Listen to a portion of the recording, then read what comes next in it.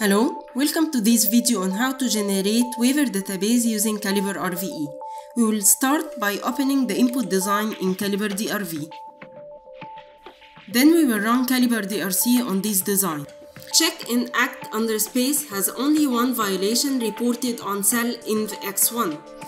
I will highlight it in Calibre DRV. This is how it looks like.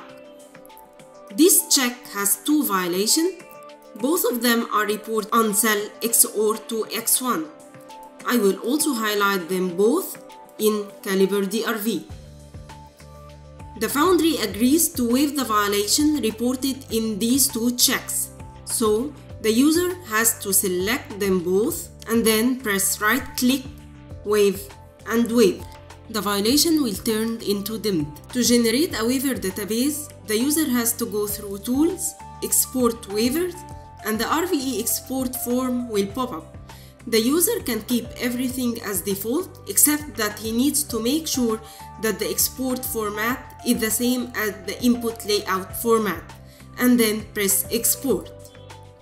This will confirm that a new waiver database file with name wave.gds file is created and default criteria is being used for these two checks and press OK.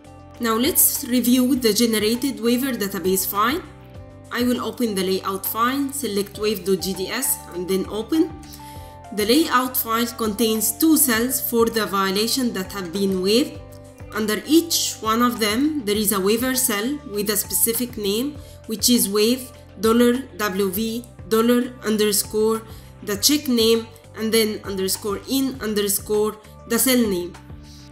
Each waiver cell contains the generated waiver shapes in addition to some waiver text objects. These text objects are generated on different layers and they represent the username of the person who generated the waivers, the dates, the different checksums, as well as criteria. And since here we use the default criteria, 0, 100, 100 is embedded in the waiver cell that represent single 100, 100 which is the default criteria. Thanks for watching this video, we hope it was helpful.